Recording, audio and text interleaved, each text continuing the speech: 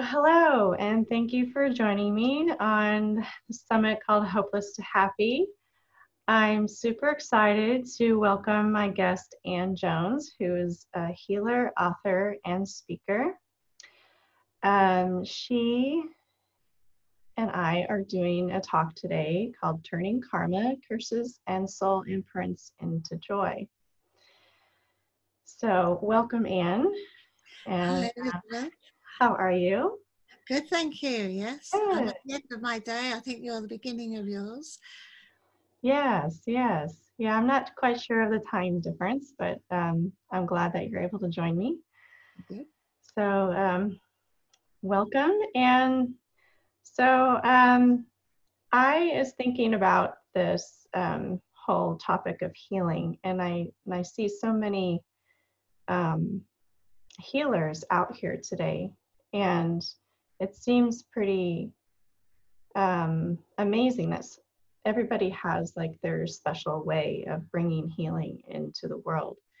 And so I'm curious how you actually began this journey of healing. If you don't mind sharing, you know, a little bit of your story of how this came about for you, I would love to hear it. Yeah, of course. Well, I was lucky in that I didn't start my healing journey or my spiritual journey like some people do when they hit a wall. I was actually having a very good life living in Malaysia as an expat wife to my husband working out there. And I was teaching the expats how to use computers, which was so I was fully absorbed, had lots going on in my life. But one day I was having a rest after doing a, a course, and um, suddenly I heard a voice. And it was so clear, so strong. It was it's almost as though I'd just picked the phone up and there was there was a somebody on the other line, on the end of the line. And the voice said to me very clearly, Isn't it time you started healing? And I hadn't been in my thoughts at all. It was it was a sort of complete what? And I sat up, bolt upright. I know I remember so clearly that feeling of, oh my God, what's happening? And the voice continued and said, um, again, said exactly the same thing again. Isn't it time you started healing? And I questioned it and, well, what, what do you mean? How? And what, what do I do? Uh, and the, the weird thing was I was saying it out loud, you know, as if I was actually talking to somebody in the room. And the, and the voice replied, speak to Sal. And I only knew one Sal there as an expat, and she was on my committee um, for the magazine I had produced. So that was it. The phone then sort of went dead, as it were, and I was left feeling shimmery and very excited and really vitalized. This is about 25 years ago, and very excited about the whole thing, and, and as if I'd been plugged into the electricity system, you know, so it was buzzing anyway, that day I had a went to a function in the evening, and Sal was there, and I couldn't wait to speak to her. So I went up to her and I said, "You'll probably think I'm completely crazy, but I need to speak to you about healing." And this was a time when healing wasn't the big thing it is now. I mean, as much people are really open to it now. The Reiki had just started at that time, so that gives you some idea. And uh, but she said, "Yes, that's right. Yes, good. I'll send some books over to you, and you read those books, and you'll remember everything. You know how to do this. All you've got to do is just do it, remember. And that was it. So the next day, she sent some books round, and they were Betty Shine, uh, who's an English medium healer, very popular at that time. And she sent me the books, and I took them away on holiday. I was going on holiday the very next day, and I took them away, and I read the books. And it made total sense to me because Betty Shine's approach to healing was you're giving love. You just put your hand out and you give love. And I thought, I like that. I really like that. I like the simplicity of it. And it feels genuine, it feels good. And and I went on holiday and I was zapping everybody, as I call it, zap, zap, zap. Sit down, I'm going to zap you. And everybody that that came near me. I said, What's wrong with you? Well, not, not much. Oh, my shoulder's a bit stiff. Right, let me zap you. So it went on. it was great fun. And, and people were feeling the heat and they were getting results. So when I came back, I went to see Sal again. We had lunch together. And I said to her, I'm, I'm intrigued. I mean, I said, I'm, I'm having the time of my life. This is, feels so right. And this is what I've been waiting for, really, without knowing it. And I think a lot of people are like this. They have the calling, but they actually don't don't realize what it is that's drawing them forward. And I said, So I'm very excited about this, but how you didn't seem at all surprised when I walked up to you. And she said, Well, no, I, my my spirit guide spoke to me a few months ago and they said you would be coming and to help you on your way. And well, I was a bit sort of the good spooky way to start, it was a, it was a great confirmation for me. And I, all I said about that was, well, it's taken me three months to find her. So I'm a bit of a slow learner, but I got there eventually and the message did get through to me. And our messages from Spirit always do eventually get through to us, even if we do busy, busy our lives and don't do meditation, eventually the message will get through. Yeah. So I've been doing it ever since. And I started, uh, then I started to get symbols coming through. Um, I had a, a guide that came in, and as I say, Reiki was around at that time, and I had a, a huge North American Indian guide came through, and in full headdress. I, I don't really, you know, this is very sort of trending at the moment. I, I don't really want to sort of think I'm jumping on a bandwagon here. So I said, You sure you're genuine? He said, Well, I'm here and I'm staying here. He wouldn't move. He was right in front of me. It was amazing. And he said, I'm giving you a symbol to use for, to, to bring in the energies, to invoke the channeled energies of, of love and compassion. So I said, Well, I don't know. I, you know, it's Reiki, it's full of symbols. I don't want to look like I'm copying Reiki. Anyway, um, he said, Well, I'm giving it to you anyway. So he gave me the symbol, and when he drew the symbol over me, I just felt like I was tingling from top to bottom. So I said, Oh, well, thank you very much. I was a bit gracious then and said, Thank you. And, and he disappeared, and I had the symbol, and I lent it to some people. and showed them the symbol, and they used it, and I used it, and I've been using it ever since. And I've taught thousands of people how to bring in healing energies using the symbol and the big thing with the symbol, and I, I've been given 40 of these now, is that they cut through any self-doubt. You know, we can all heal. There's no doubt that about that. We've all got the natural ability hidden within us. It's a, one of the powers that we've lost as we've become caught up in a material world. But we've all got that uh, ability, but we, we've also got a lot of self-doubt. So the symbols are a language you can use that allow you to cut through the self-doubt. So they work very well and they're for all sorts of different aspects of healing. So that's, that's how I started. that's how I started. Very interesting. So I'm, I'm curious, um, not that you have to share, you know, your secrets with us right now, but um, this the the symbols um, you, you talk about them as like a language. Can you expound on that a little bit? Yes what happens if if i if i wanted to show to you that everything's okay and say we were setting up this this call and that we weren't able to speak to each other and you were sort of mouthing is everything okay? I would do that to show that everything was okay. And you wouldn't understand that immediately. So you would get that message that is how it works with symbols. You draw the symbol and you send the energy, the, the, symbol sends its own energy to the universe, like like a channel in reverse, if you like. It's a, it's a message going out there. And an intention. And intention is a very powerful force that which we use when we manifest. And setting intentions always seem to work for me. And if you set the intention by drawing the symbol is saying, this is what I want. I want to invoke, to channel the energies of love and compassion, which are very, very high frequency energy, which we know once somebody gets love and which they get a high frequency energy, they can use it for themselves to heal. So lift their energies, change their mood, whatever they want to do with it, but uh, at least the symbol sets the tone sets the, sets the message out there.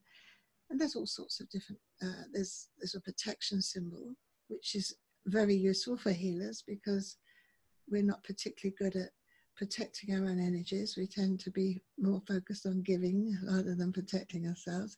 And most of us are empathetic.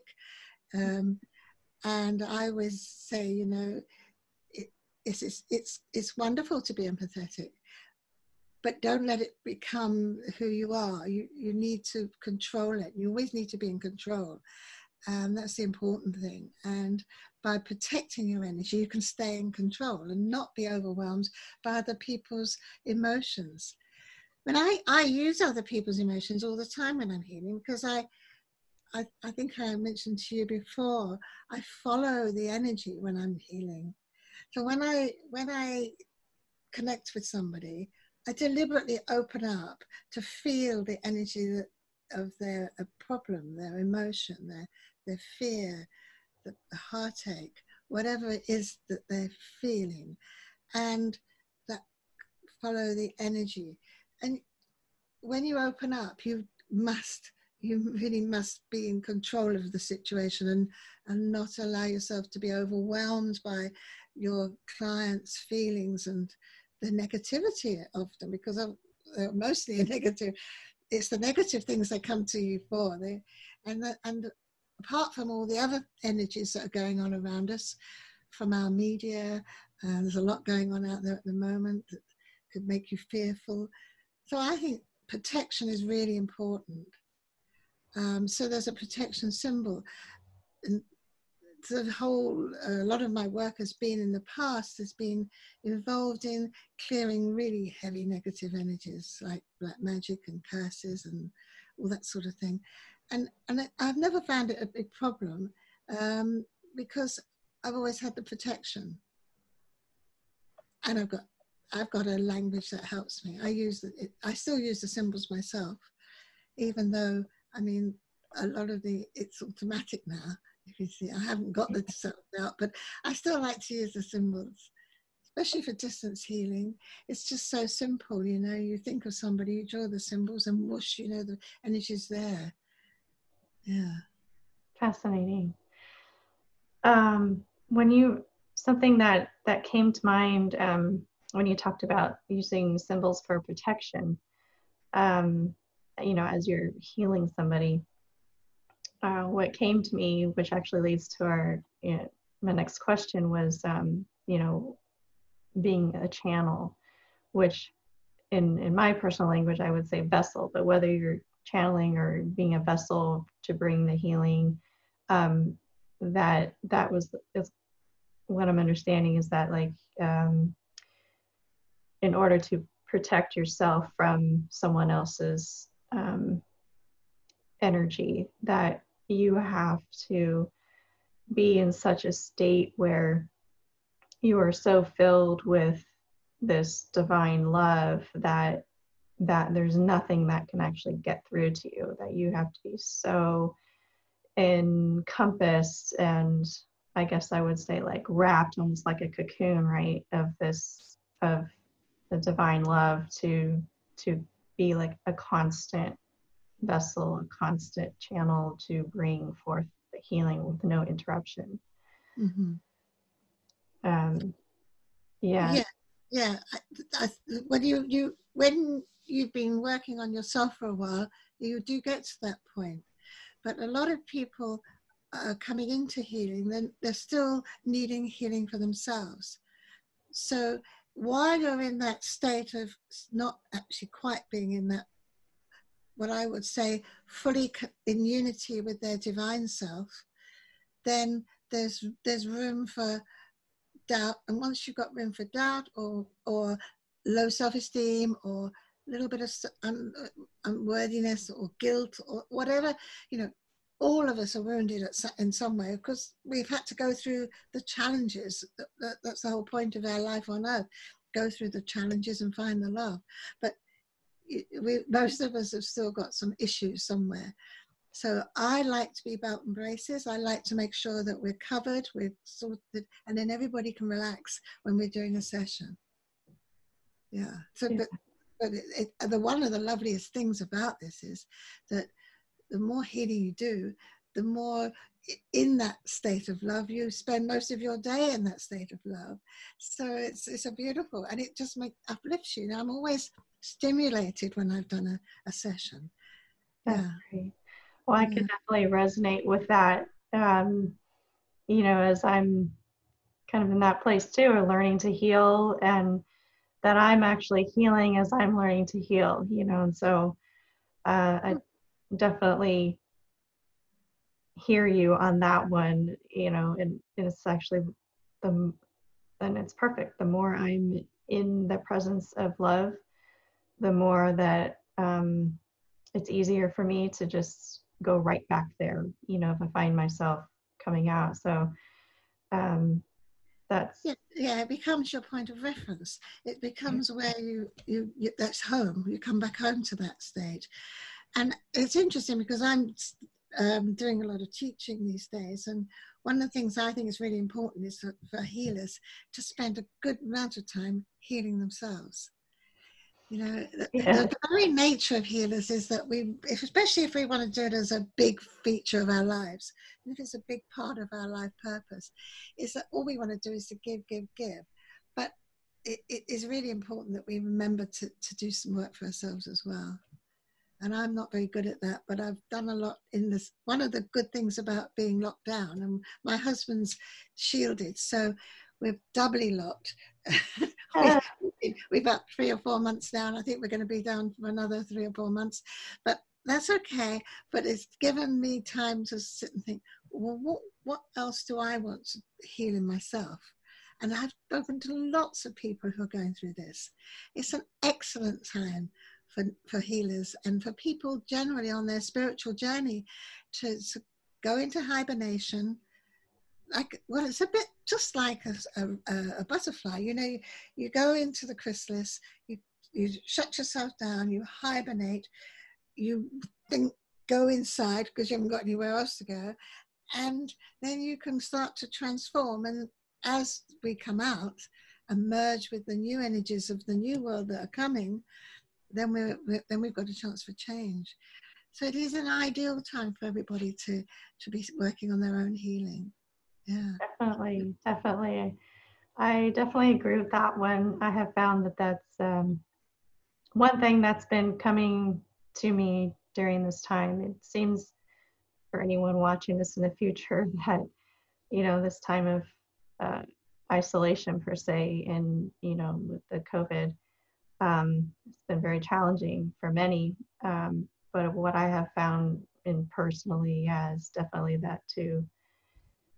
This is a time that I've been given to really do a lot more inner work, mm-hmm. and um, yeah. So when when we can go, when I can go out into the world, you know, that I I'm elevated. You know, I'm I'm better than I was when this whole thing started. So yeah and I think this is when we do, we often find what we really need to be doing, uh, getting some inspiration for the next part of our journey.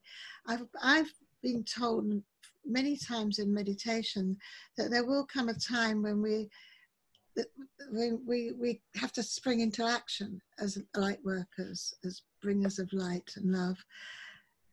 Not everybody is here this lifetime to actively help other people move into the light, but a lot of us are.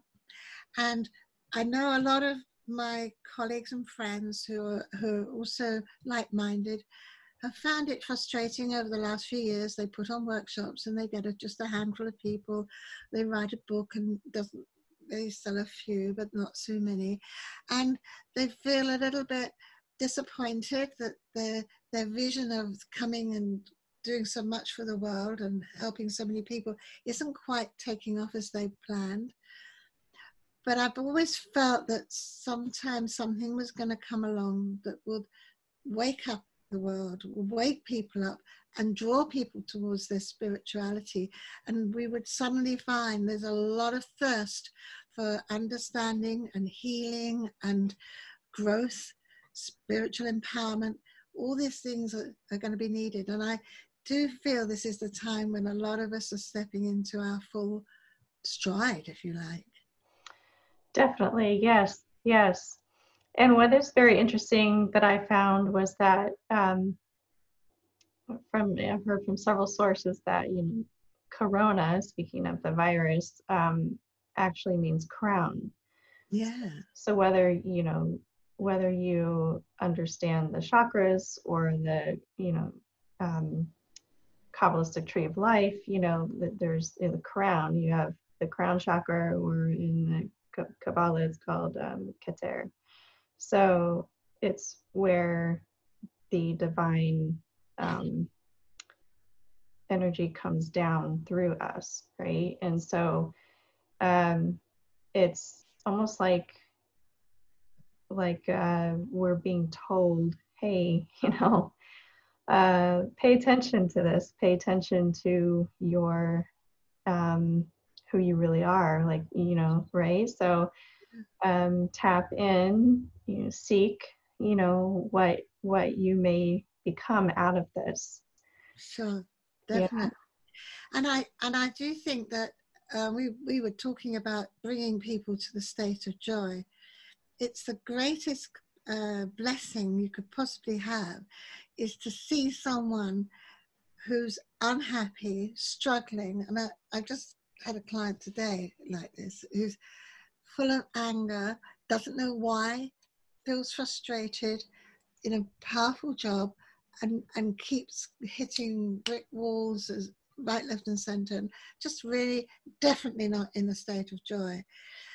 And just in an hour's session, I've seen them, and eyes start to sparkle. I mean, you know this when people start to hear their eyes sparkle, which is really lovely, and then seeing that sort of, and of course, feeling the energy shifting and mm. shifting, and going from that sort of dark nudgy energy, which always runs down my back, to that sort of sweet energy that comes in when they're connected so that through the crown to as you said to the divine i mean that's that's fantastic feeling and and to see people doing that has been really fantastic and i my my next big step for me is to get which is something again i've been working on through this shutdown lockdown or whatever you call it hibernation mm-hmm. and to absolutely uh, set up a, a school for teaching people how I do the healing and teaching them symbols and doing it all online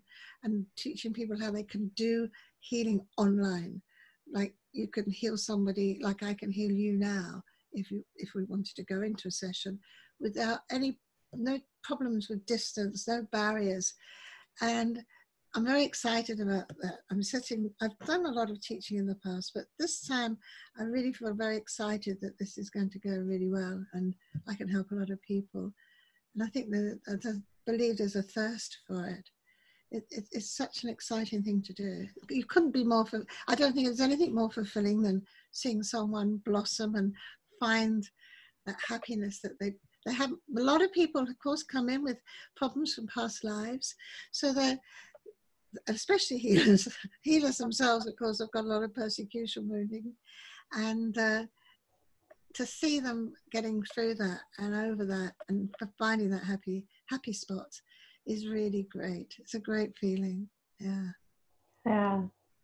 That's, you know, and everything that you're saying actually lines up with science too. I mean, science is beginning to prove so much of this. Mm. Um, there was a book that I read um, I believe it was called the Healing Codes, and uh, they were talking about how they took, um, I believe it was cancerous cells from um, certain patients who were sick, and they put them in petri dishes in a mm-hmm. room, and then they had people who uh, either they knew or the you know loved ones or people who were willing to pray and, and send healing to them. And so they they would be a completely different area maybe not even in the building. I'm not sure if i'm quoting the book right because it's been a while since i read it but and they and they were praying for the people um, and then after they they were done with the experiment they went and looked at the cells again and the cells had been restored yeah i can believe that right so yeah when you're talking about not needing to actually be um, in presence of the person that you want to send healing to it's yeah. very it's, yeah, because, it's very real, right? Yeah, I mean, and I'm lucky because I feel energies. I mean, different people uh, have different uh, skills and gifts when it comes to healing. My friend Sal, who I'm now a good friend of, the one who I who started me off on the journey, she can see energy. And I've always envied her because she can look at a person, see their aura, see what's going on for them, and immediately know, do a diagnosis. Whereas I've never been able to do that. But what I do is I feel it. I feel the energy. So I, and as I say,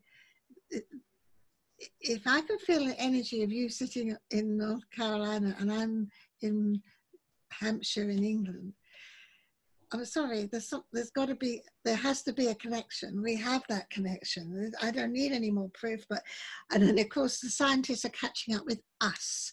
That's the right. point of the whole yeah. thing. Elizabeth, they're catching up with us. That's the idea. Yeah, that is the truth there, right? I, I will agree with that one, definitely. Yeah. Yeah.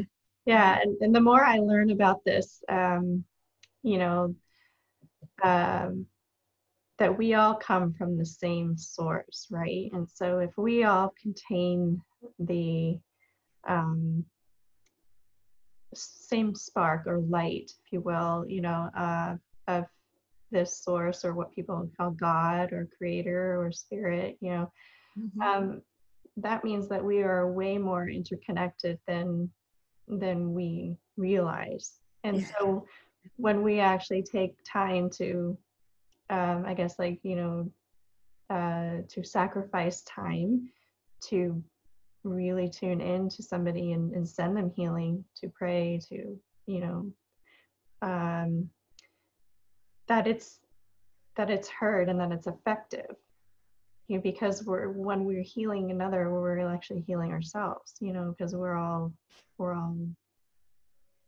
kind of yeah. like one, we're one in a sense anyway. Exactly. I, I what's happened to, for me several times is that when i've been i remember the first time this happened i was healing a lady who had been abused and she kept going from one abusive relationship to another and I said to her, look, it's time to break the pattern now and let's do something symbolic. Let's visualize you absolutely breaking up a, a, a, pattern. So I told her to visualize a piece of wood with abuse in it, written in it, and then breaking it up, which was the visualization. I knew she could do it because I'd done some work with her before. And when she was saying, I said, Are you really ready to break this pattern now? To break away from always stepping back into a relationship where you end up being abused. So you're going to reclaim your worthiness, your your self worth, so that this doesn't happen again. She said, "Yes, I am absolutely ready." And she, I could tell when she said it, I, it resonated through me. That's the truth. She was ready. So we did the visualization, took her through a meditation.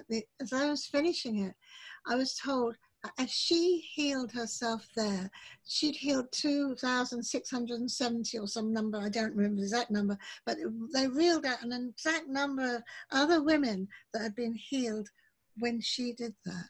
Mm. And I think what we, what we don't realize a lot of the time is the ripple effects of what we do. So, not just that it, I, I do something nice for you and then you go and you know, you or you I make you happy and then you make somebody else happy or whatever as whatever I do in that way, that ripple effect, which is lovely. But also that when you do some healing, other people who are in the same resonance also pick pick up what you're sending out there, pick it up and use it. Because why wouldn't they? You know, just because you're consciously open to it, what about the unconscious side of you? Of, of all those people sitting out there who don't even realize it. Maybe they're eating their tea or whatever, but they have this intention to to switch something, change something in their lives, and they're praying to God. Can I change this, please? Are there angel or what, who, whatever they do, and then your energy comes flying out through the waves. Boom, boom. It's wonderful, isn't it? it's very wonderful, and uh, you know, I I for me personally, again, that I feel like the when we heal ourselves, we're actually also healing the generations that come after us. Yes, absolutely. Yeah. Because um, you know, we know again that science is caught up with us, right? And that um, they can actually tell that the trauma lives in the cells and in the DNA. So when we birth forth children, um, you know, whether the the trauma is from, you know, the male or or is from the woman, that that trauma bring is brought forth through in the child. And so when we make that choice to actually clear that and heal from traumas or whatever things that we haven't dealt with, um, we're actually healing our children and our grandchildren and great grandchildren. And, so it's a, a beautiful and amazing thing that we can bring forth healing in this time, you know, to bring bring that for the future. Wonderful. Yes, and uh, one of the symbols I've been given is to clear and genetic uh, uh, situations. And ways, emotional or mindsets, attitudes can all be healed. And karma, of course, familiar karma, ancestry karma. Karma curses something, great grandfather was cursed, and it goes down through the generations. You can clear it. Mm. Beautiful. Yeah. Yeah, there's hope there's hope for everybody. Fantastic hope. Yeah, absolutely. Yeah, absolutely. So I think you had mentioned um, a little earlier um, about teaching others to heal. Uh, mm-hmm. So if you want to, you know, expand on that and talk about maybe what you have planned now and for the future about where you want to take this, that would be great. Yeah, yeah. That um, it's I'm very excited about it. Um, I'm hoping to get this off the ground. Well, I'm intending to start in August. I'm doing a, a lot of work for Japan, uh, uh, people in Japan. We've got translators set up and everything. So I'm starting in Japan. Um, that's the way it goes in the world, isn't it, at the moment? Um, but um, the, the, the mainstream teaching, um, I'm doing seven modules. Um, the different modules include such things as how to manage and look after your own energy and heal yourself. And then there'll be, be protection and the energies of the, the, way negative energies work, and that means how we can manage them. Because I, I think if you understand how something works, then you can manage it. If you know why you feel drained when you visit a certain person, you can do something about it. And and I'm, I'm all for getting people empowered in themselves. So that means taking control back and not being the victim of, of, of anything, but it well be it the energies of the people around you or the people in your work or just mass consciousness. So that'll be there's a there's something about that in the workshops. that I'll be having workshops about the actual symbols that I use, um, how to to use the symbols, the effectiveness of them, and of course there'll be a lot of uh, because we can do breakout this is so nice these breakout rooms with zoom people can get together in twos and do the work on them on each other so there's a massive opportunity for practice which i mm. always thought was that the, the, the hold up and the, the, the problem of doing this doing it online but because we can with zoom we can do that so i'll be doing a lot having a lot of uh, uh, practice uh, in, in the workshops. I do think you learn that way. Um, I'll also be looking at karma um, and past lives. Past lives are a bit of a speciality for me. I, in the last year, I've always been able to see, have visions of, of past lives, but not to the extent that I can now. And if I feel the energy, I ask to see where the root cause of a, of, a, of a problem is. And that's something I want to teach people to find the underlying cause of a problem, not just difficult childhood, because there would have been a reason why you had a difficult childhood. What life lesson are you learning? So going into life lessons and why people are going through eh, situations, and then find the past life and do the healing of the soul at that level, and then bringing any fragments of the soul which may have got left behind and bringing aspects back to make people feel whole again. So that'll be all covered in the in in the, in the workshop. Yeah, I think there's a few other things that I haven't mentioned, but that'll be but that'll keep us going for a while. It sounds wonderful. And as we know, the Zoom will be great because you don't have to be in the same room with somebody yeah. in order to receive and give. And yeah. so, you know, I think same country, same room. You know, this right. most, most of my my uh, healing clients are all over the world. So we'll carry on on that way. Saves me for. I spent 25 years traveling around the world, doing workshops, giving presentations on radio, television, all this sort of thing. And it's quite nice now to think that I can, you know, I can go downstairs, play with my dogs afterwards, and I don't have to leave my husband on his own. So it's good. It's good. I like them. I like modern technology. Yeah. it's a healer's friend. Yeah. Yes, it can be your friend if you allow Once it. it works. If it works. um, well, I thank you, Anne, for sharing um, your healing information with me and with the rest of those that are watching. And I'm intrigued to see, you know, what you will be doing in the future. And um, I definitely see you have a very loving and compassionate spirit within you and um, very gracious and kind. And I'm honored that you joined me on this interview today. Um, so I just want to see if there's any other last words that you would like to um, yeah, the very last words were something I, my my agent would have said to me should have been my first words, but I'm not very good at promoting okay. myself. But I have a book coming out this this summer too. I've got six books already published with mainline publishers, but this one is coming out in August, and it's it is everything, every technique I've learned, and all the symbols, and the power, the power of of symbols, and that's coming out about August time again. So well, great. my last words. Sending lots of love to you and this wonderful project of yours. Uh, and I'm wishing the summit well and everybody that's involved in it.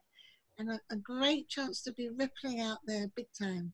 Yes, yes. Well, I'm excited again to have you join me on this. And um, it's just my goal in here to bring, you know, healing to the world in whatever way you know fits somebody so um, you know we're all tweaked a little differently and you know we all have our special unique message and um, i just wish you lots of success and um, lots of healing to to take place you know with your clients and again thank you so much and um, I hope you have a wonderful, wonderful evening, I guess, in, in your yes. Woods. That's right.